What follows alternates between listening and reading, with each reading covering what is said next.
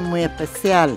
Este inicio de programa quiero dedicárselo a mi familia porque es, mi familia es una familia eminentemente tabacalera y este programa va a tratar del lector de tabaquería. Yo nací en un pueblo de la provincia central de Cuba, de Manicaragua, el pueblito de Manicaragua, que es un pueblito asentado en la falda de las montañas del Escambray, donde mi familia por entero, una familia de 12, de 12 tíos, entre tíos y tías, todos se dedicaron al cultivo del tabaco. De primera mano pude conocer la elaboración y el cultivo del tabaco por toda mi familia. Por ejemplo, eh, mi tío Carlos tenía un área de mulo y él transportaba los tercios con el tabaco de un lugar a otro. Mi tío Arturo tenía escogidas, se llamaban escogidas, que eran como unas naves donde se contrataban personas para que hicieran las distintas labores. Unos despalillaban el tabaco, otros apartaban el tabaco. Esa era la escogida. Después venía eh, la fábrica de tabaco donde mis tías eran tabaqueras finísimas ellas. Eh, torcían, era el torcido del tabaco y demás. Es un orgullo para mí pertenecer a esta familia porque fue una familia muy pobre, de origen muy humilde. Ninguno de, en esa generación, ninguno universitario, ninguno fue a la escuela. Y todos tenían una cultura muy vasta. Mi abuelo secundino, que era el jefe de toda la familia, era un sabio, era el sabio de la familia. Y esa cultura fue adquirida por toda mi familia gracias al lector de tabaquería. Porque ellos se pasaban las ocho horas haciendo sus labores y oían al lector de tabaquería que primero le decía las noticias, después le leía obras cumbres de la literatura, en fin, una cantidad de historias que todos, eh, ocho horas escuchando, escuchando aquello, aprendían un vocabulario, no hablaban mal, eh, hablaban correctamente, una dicción esmerada gracias al, al lector de la tabaquería. Mi abuelo paterno, como les decía, Secundino Pérez de Alejo, era el, el artesano mayor del tabaco. Mi papá, por ejemplo, que fue uno de los 10 hermanos, uno de los más aventajados, de los más cepillados, como se decía en aquellos momentos, guajiro cepillado. Eh, fue el más adelantado de todo y entonces él se dedicaba a comprar las vegas de los, de los campesinos y lo transportaba, tuvo acciones en una de las fábricas más importantes de la provincia, en la fábrica Trinidad Hermano, mi papá tuvo acciones en esa fábrica. En fin, todos eran eh, tabaqueros.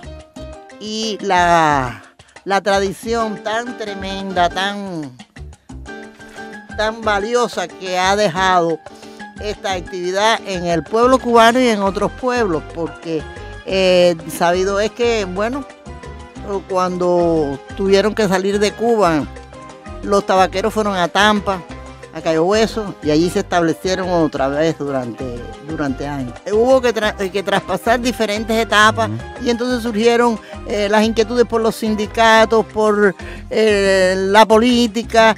Eh, los tabaqueros son eminentemente analistas políticos y demás, y entonces los dueños pues empezaron a preocuparse, lo prohibieron en alguna que otra oportunidad, pero siempre la actividad volvió a resaltar al punto de que muchos los tabaqueros, ellos cuando les quitaban el lector de tabaquería, ellos mismos hacían una producción superior para que uno de ellos leyera y si no, ellos mismos asumían y pagaban el lector de tabaquería con las obras importantes, con la chaveta. Ellos aplaudían con, con, la chaveta.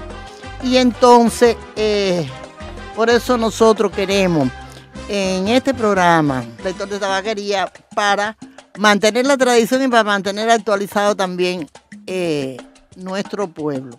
Aquí yo tengo una, en apretada síntesis, algo que va a resumir y les va a llamar el interés de todos ustedes. Un hombre lee mientras compañeros trabajan. Es el lector de tabaquería. Lo hace en voz alta y lleva de ese modo momentos de esparcimiento e instrucción a los que sin mirarlo y concentrados en lo que hace, se aplican sobre la hoja delicada y oscura del tabaco que tuercen entre sus manos para formar la vitola, conocida en un tabaco una, una vitola, que luego un fumador convertirá con su aroma. Si les gustó lo que oyeron esos tabacareros, tabacareros como les dije ahorita hace un momentico, al final de la jornada, en señal de la aprobación golpearán al unísono con sus chavetas las tapas de madera de sus mesas de labor y tirarán al piso esas cuchillas curvas ideales para cortar y enrollar la hoja. Si lo que escucharon no les convenció, no les pareció poco apropiado, si el tabaco cubano es el mejor del mundo, en su calidad alta y refinada influye de manera indudable el arte del lector de tabaquería que hace que el tabaquero imprima a la hoja la pasión de lo que escucha, solo así, dice el poeta Miguel Barnett, ese placer grande de la vida que es fumar deviene un éxtasis supremo. Es una tarea original, única, aunque se hermana con lo que hacen los lectores del despalillo.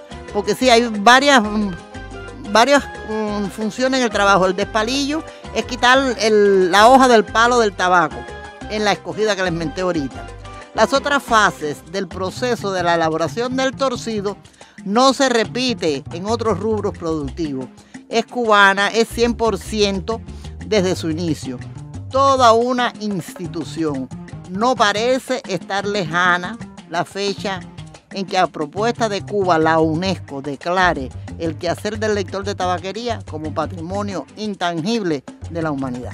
No siempre el lector de tabaquería las tuvo todas consigo.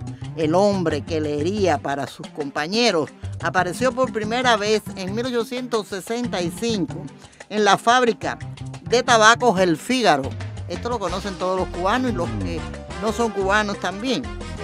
Y no demoró en granjearse la ojeriza y la desconfianza de patronos, como les expliqué ahorita, autoridades coloniales, españolas, etcétera, de los primeros porque explotaban mejor a los ignorantes, por supuesto, como le tienen que quitar el lector porque si le, le, das cultura y conocimiento no lo puedes explotar.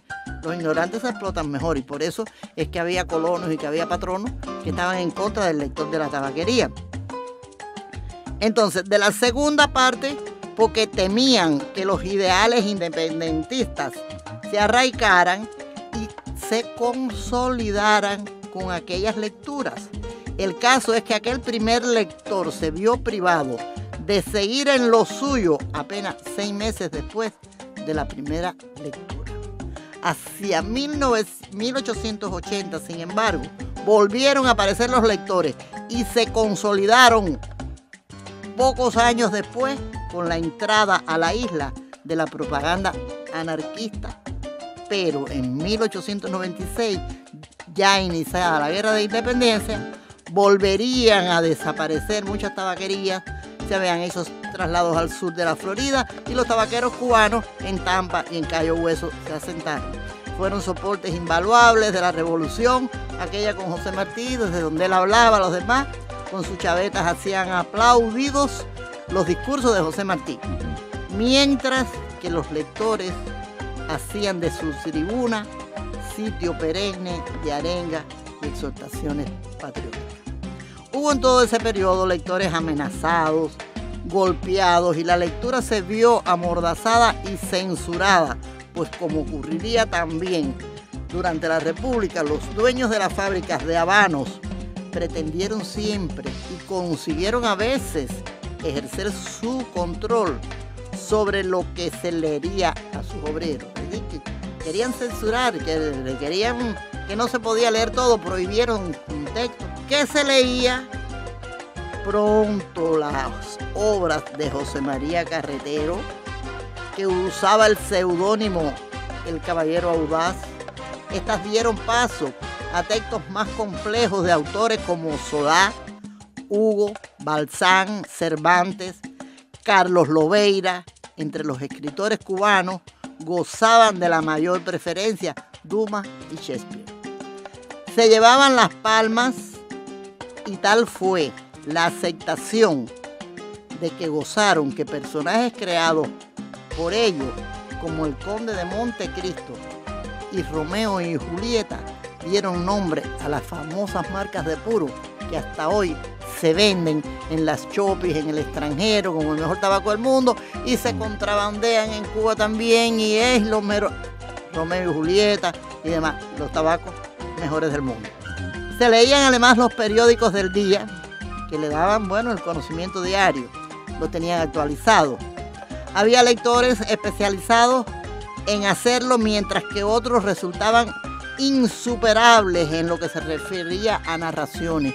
Unos locutores con unas voces de aquello que pintaban con palabras, lloraban, cantaban, reían. Y entonces el que era de esa manera, para ellos era un lector completo, si no eran dos, uno para las noticias y el otro para, para lo demás. Eh, esa plaza de lector de tabacaría se sacaba a concurso los propios tabaqueros convocaban el certamen y convertidos en tribunal, elegían al que los convencía.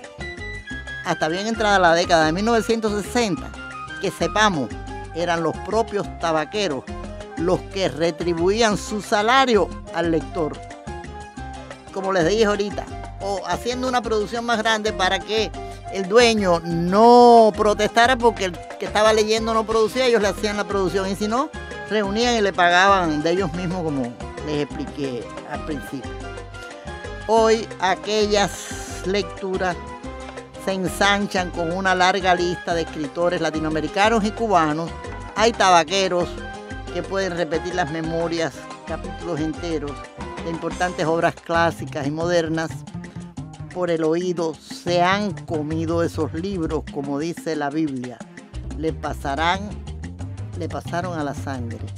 La lectura que deleitan, al mismo tiempo instruye y ensanchan el mundo y que determinaron por convertir a los tabaqueros en uno de los sectores más avanzados del movimiento obrero cubano. Quise dedicar este primer programa a mi familia porque es como si los estuviera mirando a todos. Una ejemplar familia donde todos eran unos, donde nunca hubo un pleito donde todos, eminentemente políticos y cultos, todos, una familia muy querida, muy unida, y en ellos, en esto que les estoy explicando del lector de tabaquería, los veo reflejados a todos, que ya quedan muy pocos con vida.